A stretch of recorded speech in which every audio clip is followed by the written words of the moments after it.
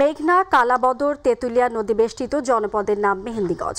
এই দ্বীপ উপজেলার পাঁচ লাখ মানুষের জন্য উপজেলা সদরে থাকা একমাত্র স্বাস্থ্য কমপ্লেক্সটিতে দীর্ঘদিন থেকে নেই প্রয়োজনীয় জনবল এবং সরঞ্জামাদি পথ শূন্য পঞ্চাশেরও বেশি, ফলে চিকিৎসা বঞ্চিত হচ্ছে এলাকার সাধারণ মানুষ।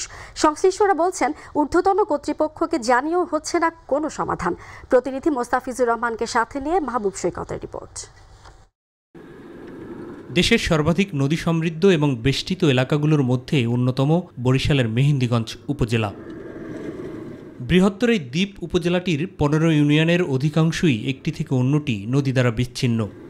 অভিযোগ রয়েছে, জনপ্রতিনিধি এবং সংশ্লিষ্ট প্রশাসনের অবহেলায় উন্নয়নের কাঙ্ক্ষিত ছোঁয়া থেকেও পিছিয়ে অন্য এলাকাগুলোর তুলনায়।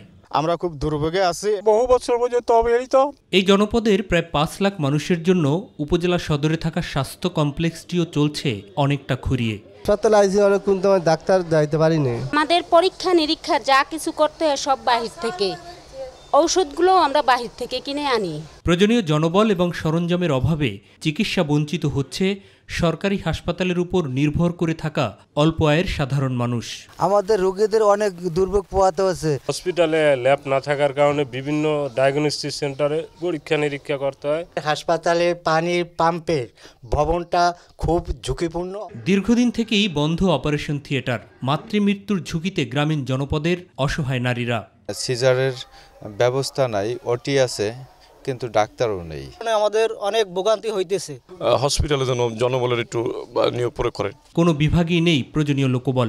অন্য যন্ত্র অন্য যন্ত্রপাতি এগুলো নাই যে স্বাস্থ্য পরিদর্শক এটা পথ খালি আছে ল্যাব টেকনিশিয়ান পথ খালি আছে মালি ঝালুদার নিরাপত্তা প্রহরী যে পঞ্চাশটির মধ্যে শূন্য পদে আছে। জনবল সংকট রয়েছে এই সংকটটা সমাধানের জন্য আমরা দ্রুতই উদ্যম কর্তৃপক্ষকে জানাব।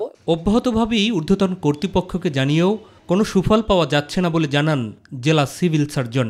আমাদের ঊর্ধ্বতন কর্তৃপক্ষের কাছে আমরা লিখিতভাবে আমরা প্রতিবেদন প্রতি মাসেই আমরা দিয়ে থাকি। সেখানে যদি একটু সাপোর্ট দেওয়া যায় তাহলে আমরা আমাদের সেবার মান অনেকাংশে বৃদ্ধি করতে পারি। Mahbub Saikat my TV Mehendiganj.